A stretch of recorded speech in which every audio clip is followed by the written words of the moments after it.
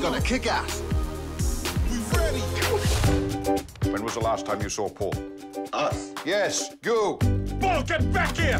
Find Paul. Bring him here. I, I have a question. Yes. How? I don't know. You're the ones who are meant to know him. So our mission is find one Samoan in the biggest Polynesian city in the world. Why don't you ask God to tell us where he is then? He's God, not Google Maps. Are we sure bar's a wise place to start our sacred quest? Where are you? We're on a mission for the minister. Are you in a bar? We're having a strategy meeting plan thing. How come you didn't want to talk to us? Us! I only had like one friend on Facebook. You suck at Facebook. You guys are never going to let this go, are you? No.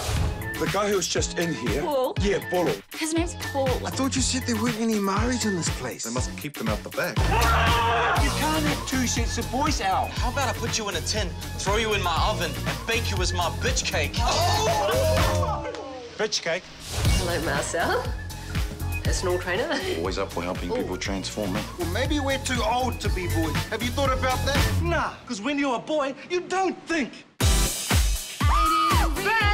Was awesome! The Bible says I can see clearly now. They're probably drag queens or something. And there's no way I'm following a drag queen down a dark alley ever again. Friends, he used to say.